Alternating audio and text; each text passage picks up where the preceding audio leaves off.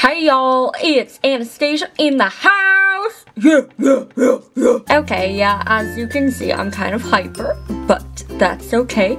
Because in this video, I will be reading a fan letter that um, one of my friends has sent me on Instagram. And yeah, I'll just read it out because she wanted it to be read out on camera. Dear Fierce LPS, I love your videos.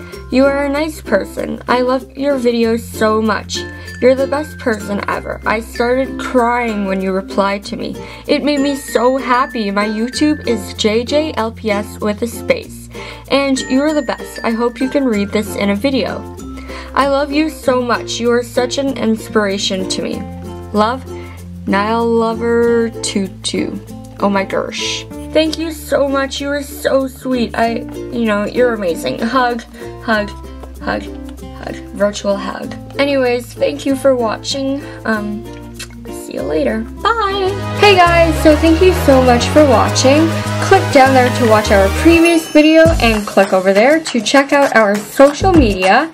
And don't forget to like and subscribe. Bye!